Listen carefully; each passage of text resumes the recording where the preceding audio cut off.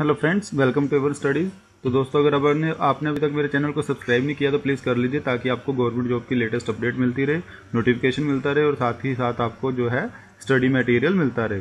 तो आज की जो मेरी वीडियो है, वो है यूपीएससी रिक्रूटमेंट 2018 जिसमें 415 एनडीसी पोस्ट निकली हुई हैं और ऑल इंडिया से आप इसे अप्लाई कर सकते हैं।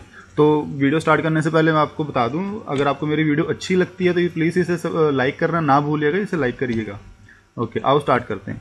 UPSC recruitment 2018 union public service commission. जो इसकी स्टार्टिंग डेट है वो 15 जनवरी 2018 है मतलब ये कल से स्टार्ट हो चुकी है इसकी एप्लीकेशन अप्लाई करना। और जो लास्ट डेट है वो है 5 फरवरी 2018 और एग्ज़ाम की जो डेट है वो है 22 अप्रैल 2018 नंबर ऑफ़ वैकेंसी है 415 पोस्ट का नाम है national defence academy and naval academy examination NDA तो जो आर्मी के लिए पोस्ट हैं, वो है 208 पोस्ट हैं। नेवी के लिए हैं 60 60 एयरफोर्स के लिए है 92 नेवल अकेडमी के लिए है 55 तो अलग अलग तरह की चार पोस्ट, प्रकार की पोस्टें हैं। एजुकेशन इसमें चाहिए, आर्मी और नेवी के लिए चाहिए plus two. From a recognise board और नेवल अकेडमी और एयरफोर्स के लिए भी प्लस टू चाहिए, बट इसमें साथ में फिजिक्स और मैथ होना चाहिए। अप्लाई मोड रहेगा ऑनलाइन। ऑनलाइन आप इसे अप्लाई कर सकते हैं। और जॉब लोकेशन आपकी ऑल इंडिया में कहीं पर भी आपकी जॉब लग सकती है।